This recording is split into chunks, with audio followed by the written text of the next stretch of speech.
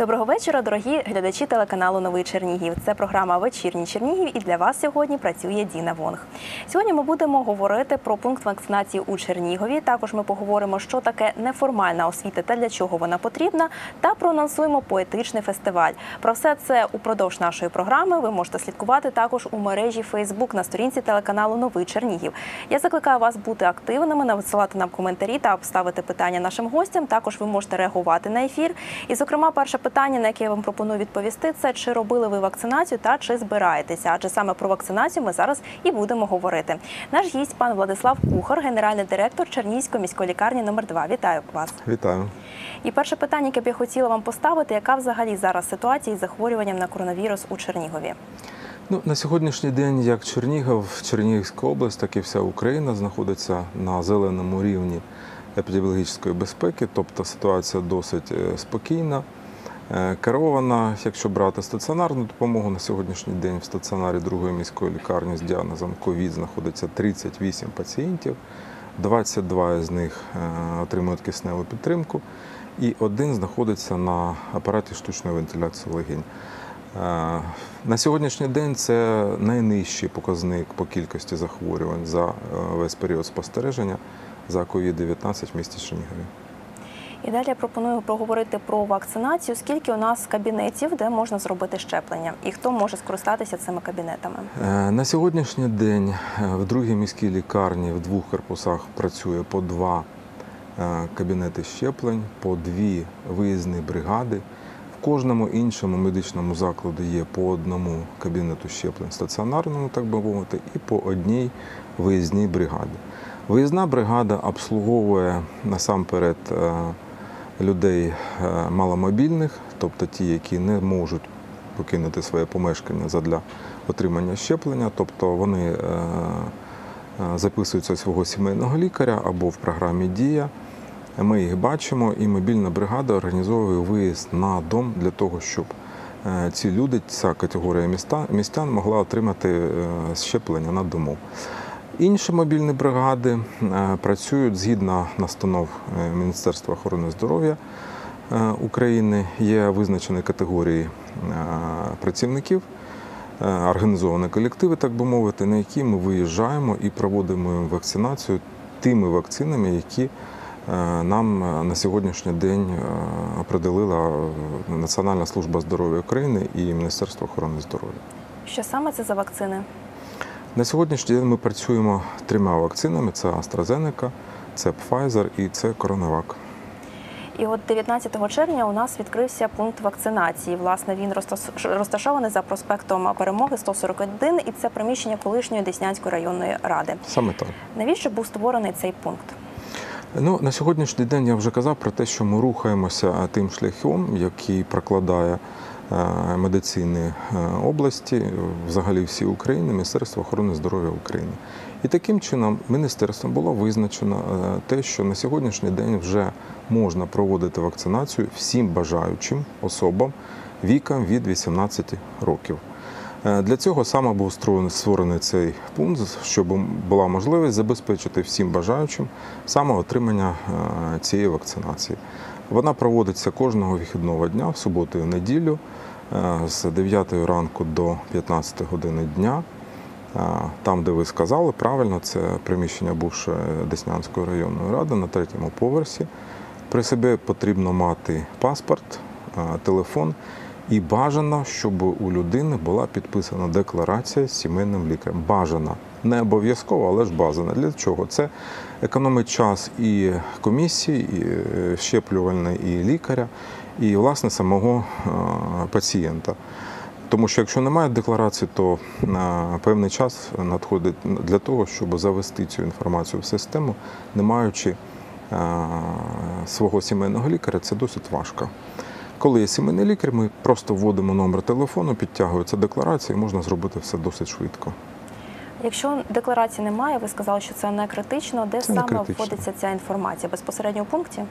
Саме так. Тобто, в будь-якому випадку вся інформація вводиться в пункт. Там е, є три оператори, Е, У них є ноутбуки, вони працюють в системі. Вся інформація, хоч з декларації, хоч без, вона відразу заводиться в електронну систему. І, в принципі, того ж дня сімейний лікар або хто інший, хто має доступ до цієї інформації, бачить про те, яка вакцина, е, якою дозою, серією і так далі, яким виробником була е, введена пацієнту. Ви сказали, що за вакциною може звернутися кожен охочий, але потрібно мати за собою паспорт, так який посвідчує особу. Якщо Так. у людини немає прописки Чернігівської, це впливатиме на вакцинування чи ні? Бажано, щоб це були містяни, тому що вакцина виділяється саме на жителів міста.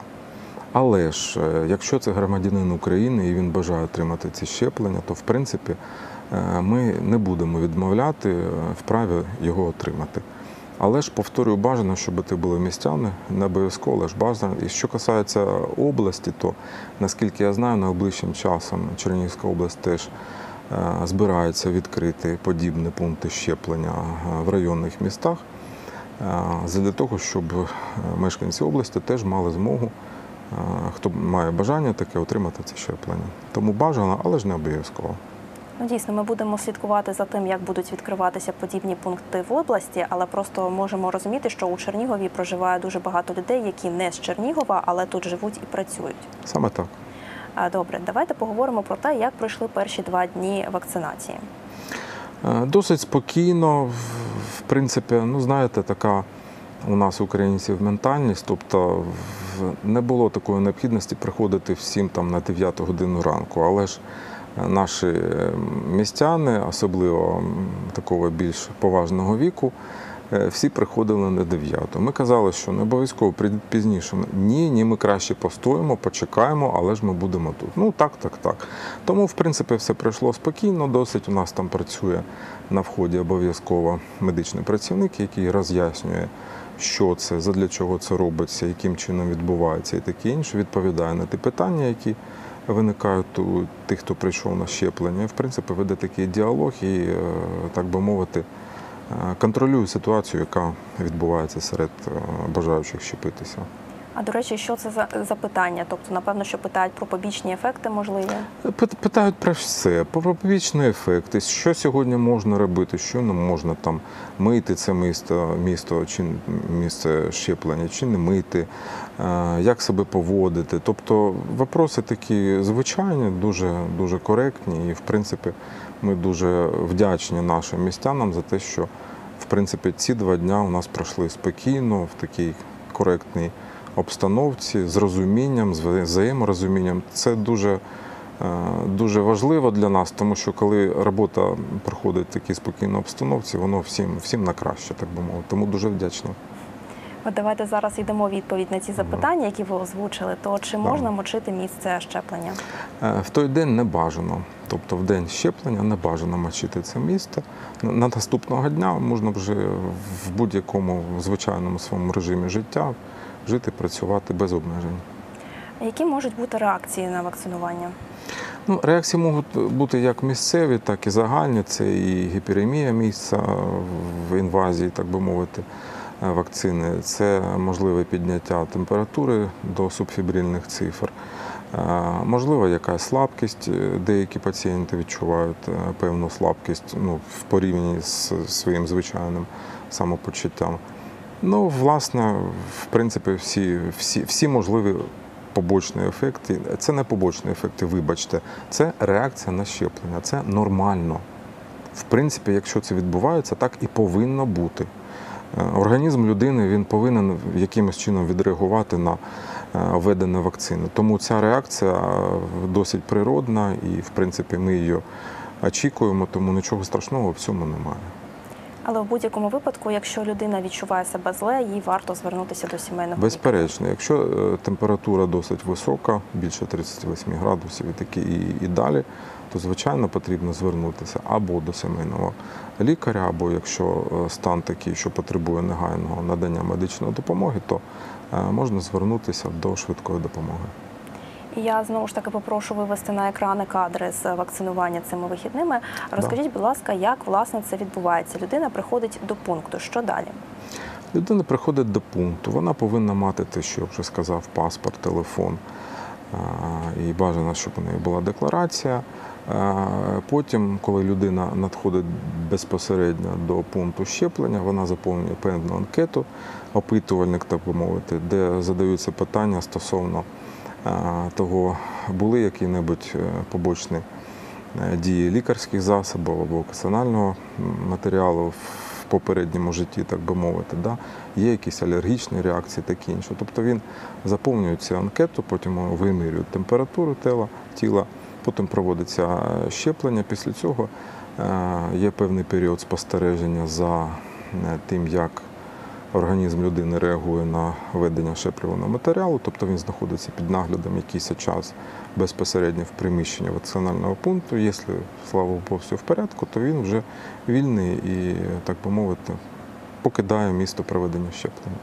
Ну, перш за все, я так розумію, що є три локації: це безпосередньо місце очікування, місце вакцинування і місце там, де за людиною наглядають. А, Так? можна так сказати. Скільки часу має людина перебувати у пункті, щоб е, медики переконалися, що з нею все До добре? 30 хвилин. До 30 хвилин цього часу, часу цілком достатньо для того, щоб вирішити е, стан, стан здоров'я, стан реакції пацієнта на вакцинацію. У якому випадку людині можуть відмовити у проведенні щеплення саме у цей день, який вона прийшла? Тільки е, погане самопочуття. Це єдина причина, за якою можуть відмовити в проведенні щеплення. На цих вихідних чи були такі люди, які почували себе недобре? Слава Богу, ні. Тобто всі, що прийшли, всі отримали вакцину. Момент з алергіями, тобто не всі Мгм. люди можуть знати, що у них є алергія на ті чи інші препарати або на вакцини. А як чи готові медики до того, що у людини може статися алергічна реакція швидкого? Звичайно, звичайно. Це, як власне і всі інші наші е, кабінети щеплень, вони е, обладнані аптечкою надання невідкладної допомоги, саме там боротьби з анафілактичним шоком і іншими е, побічними реакціями, які можуть розвитися. Тому все це є в наявності, воно з нормальним терміном придатності, тобто ми, ми готові до цього. Скільки І ще хочу сказати, що в принципі у нас є домовленість зі швидкою допомогою щодо першочергового обслуговування викликів, е, якщо вони, не дай Боже, не дійдуть цього пункту. Тобто ми тут працюємо, так би мовити, однією командою з швидкою медичною допомогою. Ми вели певні перемовини, тому ми, так би мовити, заручилися підтримкою цієї служби. але будемо сподіватися, що Будемо власне сподіватися. допомога не, не буде потрібна. Да. Якщо людина от щойно перехворіла на коронавірус, коли вона може йти на щеплення? Е, Рахується таким чином, що якщо е, людина тільки одужала після COVID-19, можна е, відтермінувати проведення щеплення до 6 місяців. Але ж це не обов'язкова умова. Якщо за будь-якими причинами або власне з е, побажання самого, е, самої людини вона бажає щепитися, то це допустимо. Таких прямих протипоказів немає. Далі маю ще питання про те, що деякі чернігівці могли стати на чергу вакцинацію у програмі Дія або за допомогою гарячої лінії. Якщо вони це зробили, але потім прийшли до пункту вакцинування, чи потрібно їм потім телефонувати і скасовувати свою чергу? Ну, як правило, розумієте, е, наші пункти щеплень вони ж працюють кожного дня і саме працюють з тими, хто записався в програмі Дія. Тому ем, такої от е, негайної потреби не виникає, щоб людина, яка вже якій запропонована, яка запрошена до поліклініки для проведення щеплення, щоб вона йшла на цей пункт. Такого, в принципі, ну, негайної потреби такої немає. Але Е, З будь-якого з будь-якої причини, да, можливо, людина від'їжджає кудись, чи інші причини є. Вона може прийти на пункт. В цьому випадку не треба зніматися з програми Дія, тому що коли він проводить щеплення, інформація про нього поступає до електронної мережі, і мережа так, таким чином вона бачить цю людину, те, що вона вже отримала щеплення. Але ж бажано все ж таки е, повідомити свого сімейного лікаря про те, що він вже зробив вакцинацію. Ну, він чи вона зробила вакцинацію, і на сьогоднішній день там потреби в викона- використанні можливості програми Дія немає. Але ж це ми говоримо напевно, що про кабінети щеплень, і про тих людей, які мають право на вакцину першочергово. Тобто до моменту відкриття пункту це були медики, працівники спецслужб, фахівці соціальних служб і так далі. Да, Працівники паливно-енергетичного корп, е, е, комплексу, освітяни, тобто там досить велика категорія, перелік великий категорій, які підлягають під щеплення. І хочу ще, от, користуючись нагодою, як кажуть, звичайно, в телевізорі, да, користуючись нагодою, так ось використовуючи таку нагоду, хочу сказати про те, що буквально вчора е, Міністерством охорони здоров'я було прийнято рішення про те, що е, на сьогоднішній день будь-який колектив, який нараховує 50 і більше співробітників, має право е, на проведення такого щеплення за місцем роботи. Що для цього потрібно? Керівник цього колективу повинен вийти, зайти на сайт Міністерства охорони здоров'я, залишити там заявку на проведення такого щеплення. Е, З виконанням всіх умов на сайті є умови щодо приміщень, в яких повинно проводитися щеплення, до обладнання, яке там повинно бути, і так далі. і так далі, і так далі. Вся інформація це є. е, Це є. І е, залишаючи цю заявку, потім ми отримуємо цю інформацію і плануємо виїзд на робоче місто на адресу юридичну е, до того колективу, вже будь-якого, не з тих категорій, які визначені щодо першочергового проведення щеплення. І ми можемо провести ці щеплення саме в трудовому колективі. І перепрошую, з якої дати це ще буде доступно. Давайте проговоримо ще раз. Е, Це вже доступно. Мгм. Тобто тепер все залежить від керівника. Як, як він швидко зв'яжеться з сайтом Міністерства охорони здоров'я, залишить там заявку і таке інше. Ми вже отримуємо безпосередню інформацію від міністерства і проводимо ці щеплення. Але я так розумію, що в Чернігові ніхто цією послугою ще не скористався. Е, Поки що ні, але ж ще мало часу минуло, тому ми чекаємо на це. Ми готові, по крайній мірі. Добре, загалом скільки людей у Чернігові отримали щеплення? На сьогоднішній день це вже е, майже 15 тисяч. Ну, якщо бути точним, це 14 тисяч 837 осіб, які отримали першу вакцинацію. І 3345 – це ті, що отримали вже другу вакцинацію. Тобто достатньо велика кількість. На сьогоднішній день, враховуючи, що ми так, так вже давно почали цю роботу, але звертаюся до всіх е, з, е, так би мовити, побажанням і е, закликом щодо необхідності проведення цих щеплень. Ми ніяким чином не зможемо затормозити, в- в- загальмувати цю епідемію, ніяким чином ми не зможемо е, попередити наступний локдаун, а він, е, скоріш за все, буде, якщо, якщо ситуація буде така, яка є, є в світі на сьогоднішній день. І єдиний шлях це проведення вакцинації. На сьогоднішній день хочу сказати, що всі вакцини, всі підкреслюю, які використовуються в Україні, це і Pfizer, і AstraZeneca, і а, вони всі е, дозволені до використання Всесвітньої організації охорони здоров'я. Вони всі, ну так би мовити, гарні. Да? Є така думка, якісь там кращі, якісь гірші. Е, Хочу сказати всім абсолютно впевнено, всі вакцини однаково гарні. Е, Немає будь-якої інформації об'єктивної, яка б казала про те, що якась там гірша, чи, чи краще, чи ще як. Вони всі е, дозволені, вони всі гарні, і ми наполягаємо на тому, що вакцинатися потрібно в обов'язковому е, порядку. Добре, ще уточнююче питання: скільки людей пройшли вакцинацію саме у пункті щеплення за два дні, тобто 19 та 20? 531 особа. Загалом 531 особа. Скільки максимально вакцин може вколоти цей пункт за два дні? Ну, максимально це може бути е, тим, е, тим штатом, який там зараз працює, може бути до 500 в день.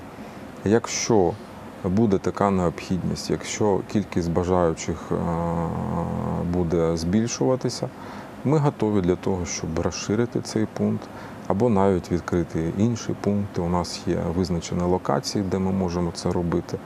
Але ж на сьогоднішній день немає такої потреби, тому що ну, е, до цього пункту є певні е, теж е, вимоги щодо кількості тих, хто там пройде вакцинацію. Тобто ми не можемо відкривати пункти, а туди прийде 35 осіб. Розумієте? люди працюють цілий день, і там, а, а там тільки 30 чи 35 чи навіть 50 осіб. Це дуже мало.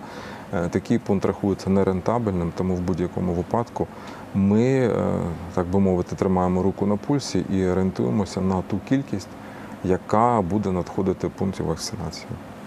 А скільки, до речі, медичного персоналу працює на пункті? Е, Це три оператори, які е, проводять безпосередньо інформацію в систему. Це три медичні сестри, які проводять вакцинацію. Це е, лікар, який власне приймає рішення про дозвіл до допуск до вакцинації. І це персонал допоміжний, це молодший медичний персонал, який саме забезпечує от, е, технічну сторону роботи е, цього пункту. Вакцина, якою роблять щеплення, це коронавак, так? Саме так. У перспективі чи може бути вибір у людини, якою вакциною вакцинуватися? Ну, ще раз підкреслюю, ці питання е, вирішує е, Міністерство охорони здоров'я України. Яке рішення вони приймають, такі рішення ми виконуємо.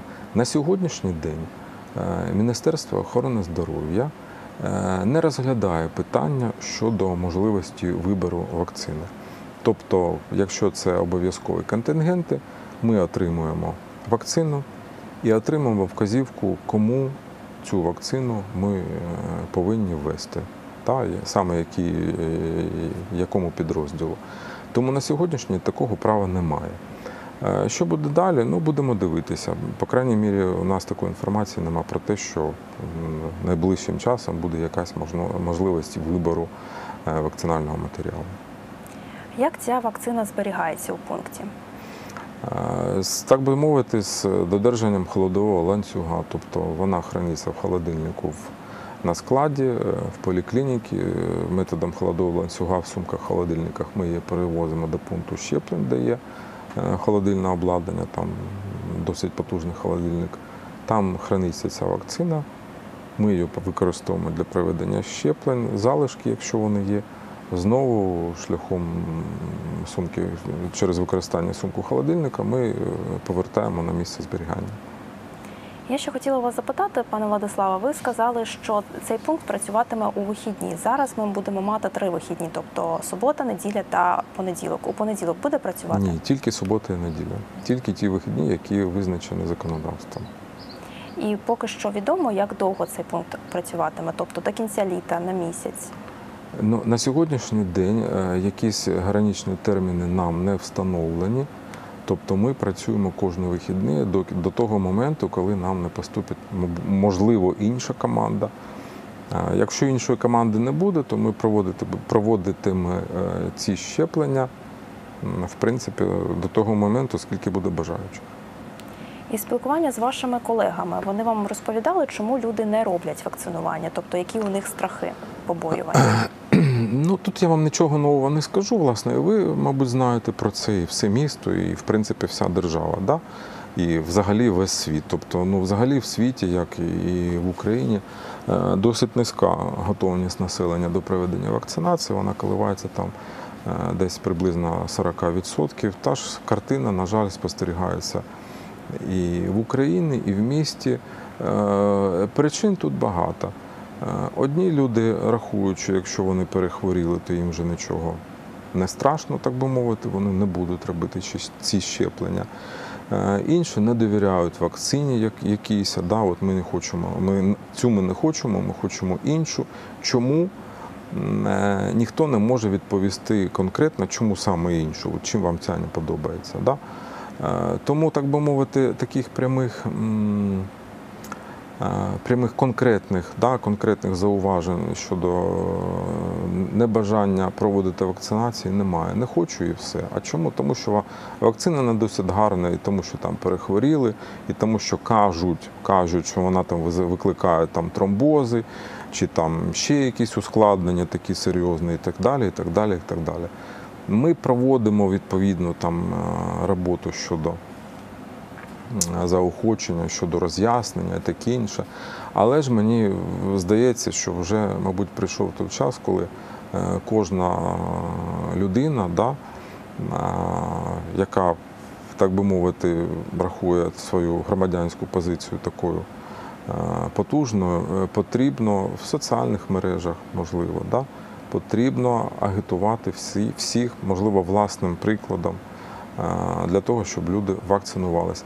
Тільки ми, тільки ми, тільки медики не в змозі переконати всю, все суспільство в тому, що це потрібно. Не в змозі. Будь-яка медична система е, не може, не може переконати всіх. Тут потрібна, так би мовити, воля всього суспільства, да?